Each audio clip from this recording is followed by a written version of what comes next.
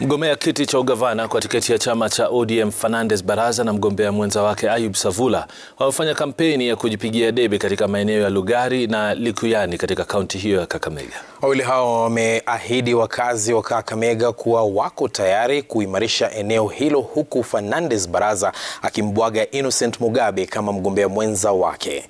Mugabe sasa atawania ubunge eneo la Likuyani chini ya muungano wa Azimio la Umoja One Kenya. Waoniaji wa viti tofauti katika muungano huo wamekashifu mrengo wa Kenya Kwanza kuhusiana na mkataba wao na viongozi wa jamii ya Mulembe, Musalia Mudavadi na Moses Wetangula, na haswa hitaji la asilimia sabini ya kura ili waweze kufi, uh, kufaidi kwa serikali.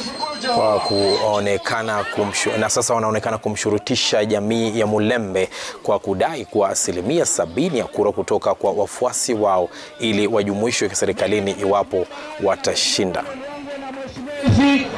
Na hapa Nabii na Bora tumekubaliana. Hii serikali ya kaunti tunagawana mara mbili mara mbili, moja inaenda south na ingine inabaki north. Raila Amolo Odinga amepatia Wycliffe Ambassa Oparanya na Spika Marende viti for free, si ndio? Aliwauliza 70%. Mlisikia mambo ya 70%? Ndio sisi tunasema yule president tuna support ni yule anapeana serikali for free, ama namna gani? Ukiangalia hapa kwetu baraza mwenye tuko naye, yeye, mtu ameelewa hesabu, amekaangwa kwa hesabu anaelewa kupiga budget ya hesabu. Yasomera ampesa, amepractice ampesa. Sasa mtafanya patapotea na kaunti yetu, ama mtapatia mtu anaelewa pesa? Mtapatia mtu anafahamu pesa?